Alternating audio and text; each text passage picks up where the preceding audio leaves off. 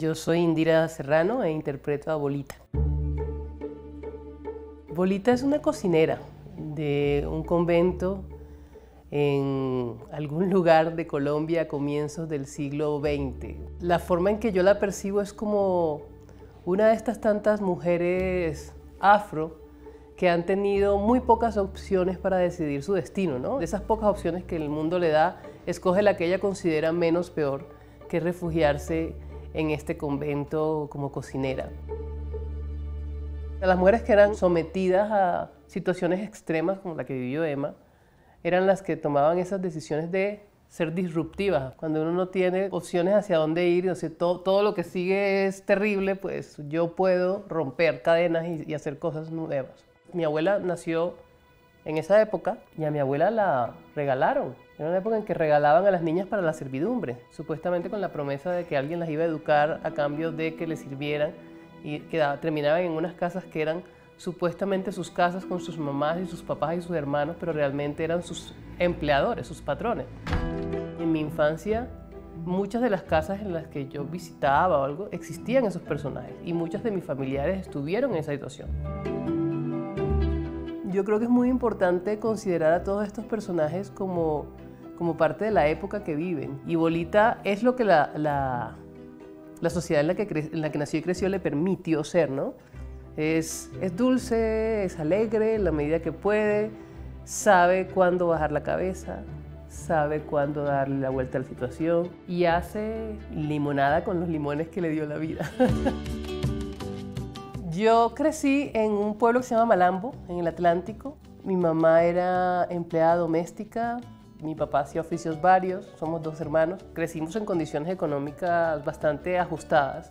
Yo me acuerdo cuando estaba chiquita mi mamá decía, yo no les puedo dar educación, entonces vamos a buscar la mejor educación pública posible y un lugar de donde ustedes puedan salir formados.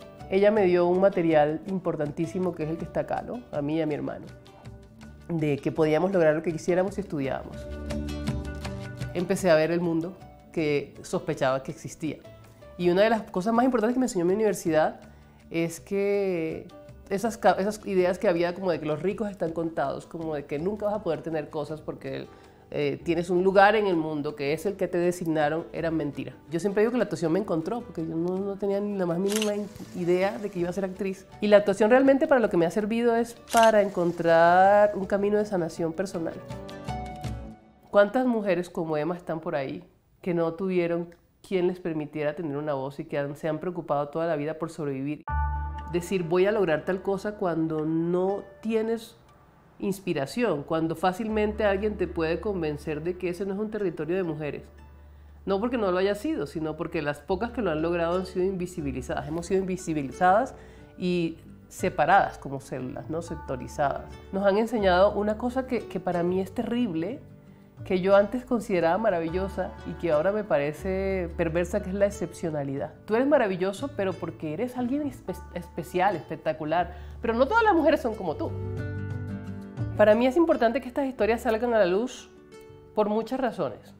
La primera es que todavía vivimos en una sociedad machista en donde la mayoría de nuestros role models, de nuestras figuras que seguimos son hombres. Y no porque no hayan existido mujeres, sino por lo que estábamos hablando hace un poco, las mujeres han sido calladas durante muchos años o han sido relegadas a un espacio donde no pueden eh, tener una voz y una opinión y una posición. Y creo que es importante hablar de Emma porque está absolutamente invisibilizada como muchas otras mujeres del mundo. En mi caso personal yo trato de que las mujeres tengan voz, y trato de entender que mientras más mujeres tengan voz, no significa que yo tenga menos voz. Tengo más. ¿Qué hubiera pasado si Emma hubiera tenido la posibilidad por la época de amplificar su voz a más mujeres? Quizás no sería tan desconocida el día de hoy.